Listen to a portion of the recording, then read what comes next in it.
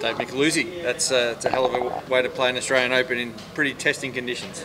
Yeah, um, was nervy the first couple of holes. I hit a few little um, heel fades down the first couple of tee shots and was fortunate enough to hit another heel fade on the second and put myself to about six feet and I hold it. So settled the nerves a little bit. Um, yeah, then played very solid till about 10 and yeah, putter caught fire, which was which was great.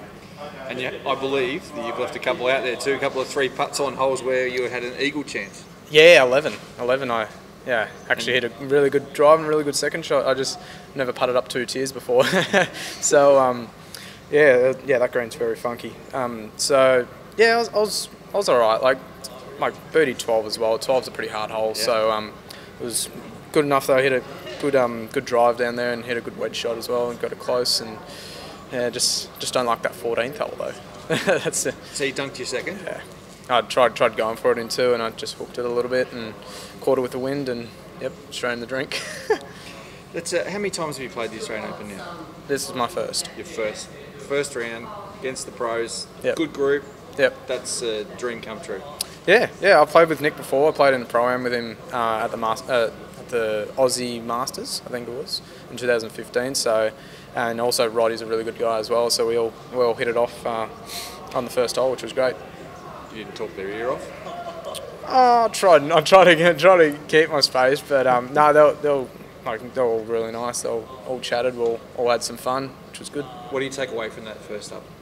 The first round? Yeah. Uh, I played pretty well. I, I, I think the 18th was probably my first miss iron shot. Um, where I just like missed it short, but it was in a perfect spot where mm. I could make up and down. But I hit it great. I hit it really, really good. I guess the question more is, do you feel like it's just another tournament for you because you've been playing and scoring so well, or is it the yeah. national championship and it's going to bite you at some point?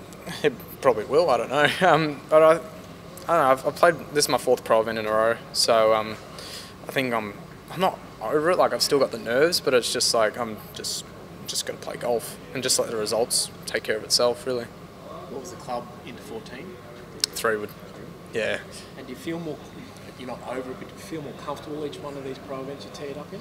Yeah, pretty much, pretty much. I think uh, Fiji was probably a good starting point with um, like all the cameras and all that, and then uh, Asian Amateur was the same kind of deal as well. Um, and got, got used to that, had a good first round there as well. So um, this now, it, it, it, kind of feels normal, as like as much as it isn't, but it, it yeah, kind of I kind of feel like I'm I belong now, which is good and just one of those days where the weather's annoying, little bits of light rain, wind, yeah. everything like that. Yeah. But you're obviously just pretty comfortable with it, and conditions were tough, but didn't seem to get you too much. I'm from Melbourne. This is this is nothing really. Um, and the wind the wind is just like Melbourne as well. So I really really felt like I was back in Melbourne, which was great.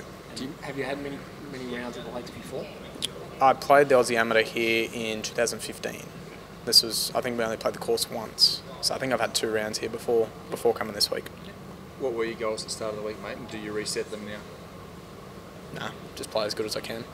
Just let the result take care of itself. If I miss the cut by 25 or if I make the cut, if I'm up there um, after the first round, it still doesn't matter. Just go and hit each shot as good as I can.